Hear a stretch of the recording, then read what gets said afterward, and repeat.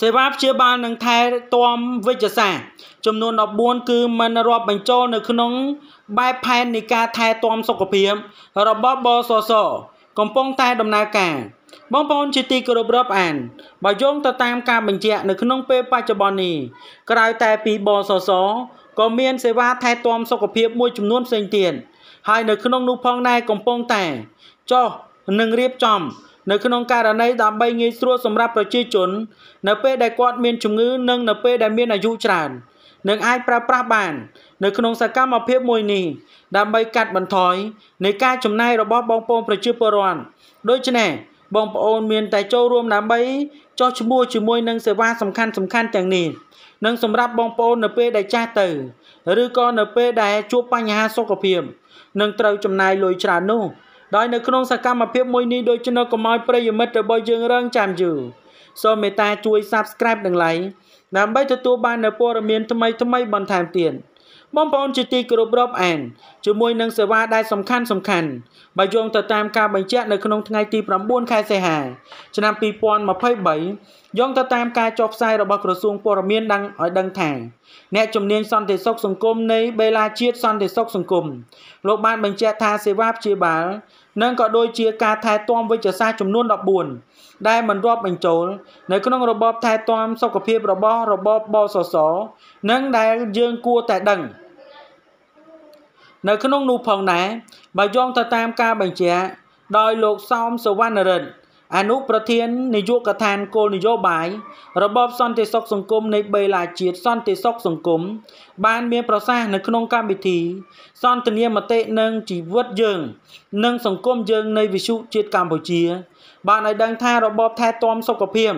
គឺផ្ដោតសំខាន់ទៅលើការផ្ដល់ជូននៃសមាជិកបសសនៅសេវាកម្មបង្ការនិងសុខភាពសេវាព្យាបាល និងថែទាំបែបវិទ្យាសាស្ត្រ និងការផ្ដល់ប្រាក់និងបំណាច់ឆ្នាំ និងជាប្រចាំដោយឥតគិតថ្លៃផ្អាកការងារដំបូងនិងសម្រាប់រយៈពេលនៃការព្យាបាលជំងឺឬគ្រោះថ្នាក់ផ្សេងផ្សេងក្រៅតែពីហានិភ័យការងារការងារនិងសម្រាប់សុខុមាលភាពលោកគឺបានបញ្ជាក់ថែមទៀតថា សេវាដែលមិនរាប់បញ្ចូលនៅក្នុងសេវាព្យាបាលនិងថែទាំបែបវិទ្យាសាស្ត្រមានចំនួន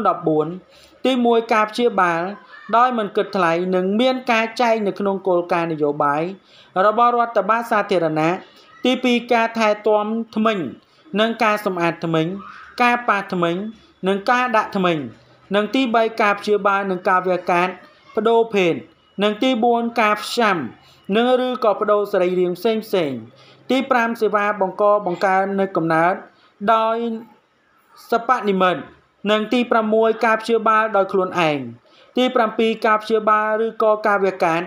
ដើម្បីប្រយោជន៍នៃការកែលម្អផ្នែកណាមួយនៃរាងកាយទី8ឧបករណ៍ជំនាញផ្នែកសពនិមិត្តនិងក៏ដូចជាព្យាបាលដោយកាំរស្មីឡាហ្យានិងទី9ការព្យាបាលដោយញៀនសូរ៉ានិងផ្ដាច់គ្រឿងញៀនទី10ការព្យាបាលដោយអតិភាពនិងផ្ដល់កំណើនទី11ការវាកាត់ដោយដាក់ក្របភ្នែកឬសពនិមិត្ត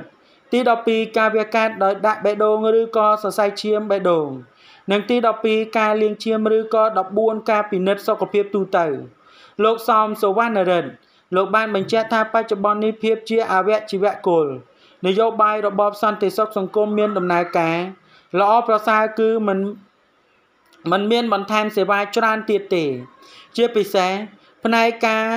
និយាយអំពីប្រយោជន៍ ដែលសំដៅទៅលើជនដែលប្រកបរបរការងារឬក៏មុខរបរចំណូលផ្ទាល់ខ្លួន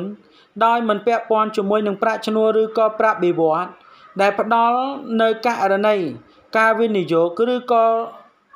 រត់តាមកិច្ចសន្យា ការងារហើយក៏មិនមាន ការប្រើប្រាស់នៅកម្មករនិយោជក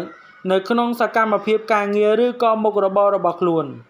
ជាមួយនឹងសម្លេងកាលពីមុននឹងការអនុវត្ត នៅលើមន្ត្រីរាជការបុគ្គលិកក្រុមហ៊ុនរោងចក្រឬសហគ្រាសណាដែលមានកម្មករចាប់ពីម្នាក់ឡើងទៅប៉ុន្តែឥឡូវនេះគឺបានអនុវត្តបន្ថែមទៅលើបុគ្គលស្វ័យយ័តនិយោគឬក៏អីអញ្ចឹងអ្នកប្រកបមុខរបរដោយខ្លួនឯង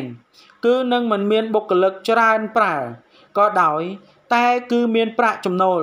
មិនថាតែលើវិស័យអ្វីទេ វិស័យកសិកម្មចិញ្ចឹមមាន់ចិញ្ចឹមទា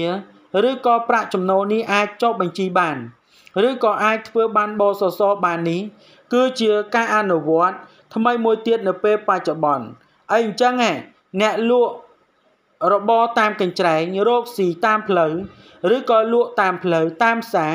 ដែលមិនមានបុគ្គលិកប្រើអាចចុះឈ្មោះ